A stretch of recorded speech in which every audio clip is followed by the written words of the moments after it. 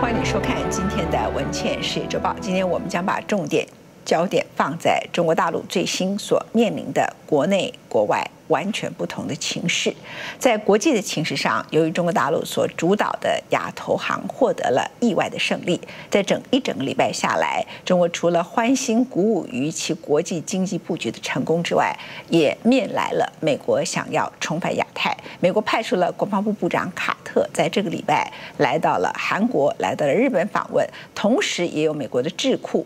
公布了一个卫星图，这卫星图显示中国试图在南海透过一个珊瑚礁，然后填成一个岛屿，试图再度的引发中国跟南海当地的领土纷争。而由于亚投行主要的布局“一带一路”，另外一个就是东南亚地区的基础建设。那么很多人认为，美国在这个时刻是希望能够打击中国在国际政治上头。重点关于亚投行布局的成功，而中国内部呢，这是第一个陆股高涨到七年以来继亚洲金融风暴以后最高，甚至呢，这个资金的狂热还整个卷席卷到了香港的股市，也创下了七年的新高。但这是指的中国的经济很好吗？不，中国的经济第一季度大概只有百分之七，同时。为了要防止整个房地产崩盘，中国大陆开始出现了一连串的稳房式的政策，也就是经过房地产的泡沫化之后，中国承担不起打房让房价下来的这样的一个。高房价的现象，如果崩溃的话，对金融可能产生的冲击，所以中国内部的经济其实面临非常大的一个转型的困难。首先，我们先来看中国的国际，似乎迎来了一个亚投还能成功之后，马上美国人不会让他们太高兴。美国派出了国防部长卡特，刚才我前面所说的，在本周呢，更由在华府的智库，这个智库本身是半官方性质的，通常一个智库不可能会拥有。卫星，他们公布了一个卫星图。那么这个卫星一般判断是由美国的国防部所提供的。这个卫星图显示出来，中国大陆在最近从今年一月开始，在南海的争议领土上头，透过一个珊瑚岛。运来了白沙，想办法把它变成一个既有的一个中国的领土。而公布这个这个卫星图片呢，主要的就是唤醒很多南海的国家。中国正趁大家不注意的时候，填海工程来威胁地区安全。包括 BBC 的报道也是如此。美国国防部长以及美国相关的做法都引起许多的关切。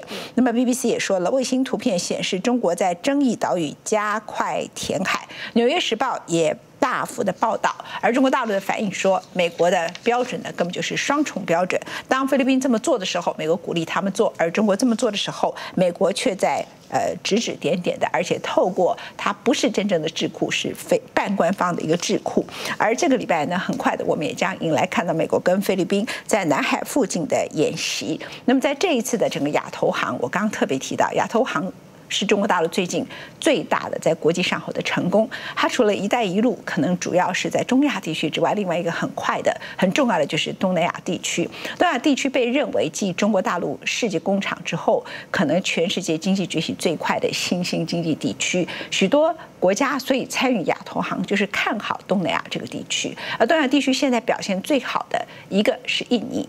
另外一个是越南，而跟越南呢的领土冲突更是许多人相当熟悉的。最近越南的越共总书记。很低调的访问了中国大陆。那么，这位越共总书记是阮富仲，他也承认海上的争端是中越之间重大的一个问题。但是，越南的确需要基础建设，必须参加亚投行。让我们来看中美在这个议题里头，美国绝不放弃重返亚太，也不会让中国轻轻松松的进行亚投行的国际战略的相关事宜。奥巴马任内的第四个国防部长卡特上任不到两个月，展开他的首次东亚访问行程。第一站就是最重要的盟友日本。卡特此行的任务就是和日本防卫大臣中谷元一商讨日美防卫合作指针修订的最终内容。预料这将朝解禁日本行使集体自卫权的方向，分担美国的全球战略需求，让日本自卫队可以海外派军。终结二战后的专守防卫。There are few better examples of that commitment than our two governments' work to update our alliance's defense guidelines, which hasn't been done since 1997. 若说卡特此行是来慰安的，那一点也不为过。毕竟日本一直始终挺着美国，没有参加大陆主导的亚投行。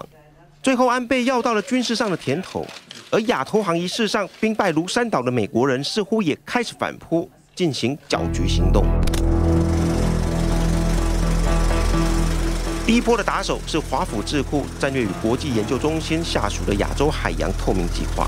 他们近日在官网上发布一份报告与一组卫星图片，指控大陆在南海的南沙群岛大兴土木，在多个岛礁上吹沙填海，盖起人工岛。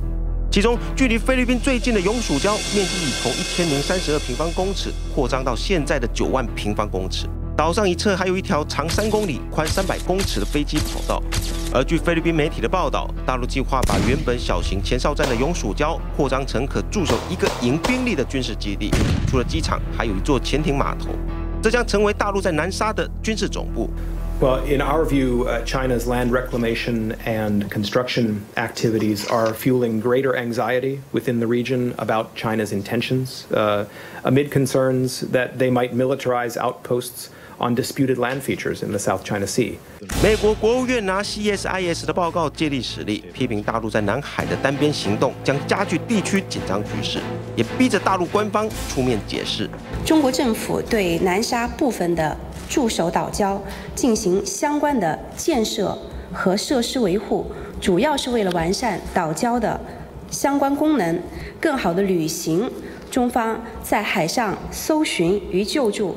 防灾救灾、海洋科研、气象观察、环境保护、航行安全、渔业生产服务等方面承担的国际责任和义务。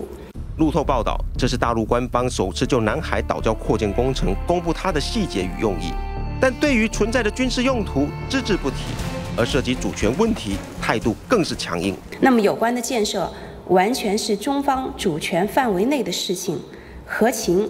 合理、合法，不影响也不针对任何国家，无可非议。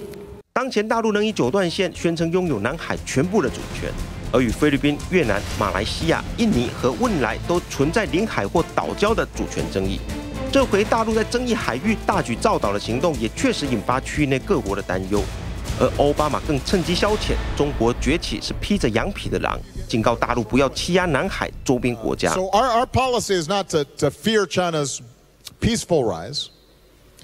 Where we get concerned with China is where it is not necessarily abiding by international norms and rules and is using its sheer size and muscle to uh, force countries into subordinate positions. And that's the concern we have around maritime issues. We think this can be solved diplomatically, but just because Philippines or Vietnam are not as large as China doesn't mean that they can just be elbowed aside. 亚投行一役，美国一路挨打，但这回美国智库在南海帮大陆捅了个马蜂窝。未来亚投行的基础设施投融资，绝大多数的项目将集中在东南亚。而去年十月二十四号签署筹建亚投行备忘录，二十一个创始成员国中有十个来自东协国家，其中有五个在南海问题上和大陆是吹胡子瞪眼的。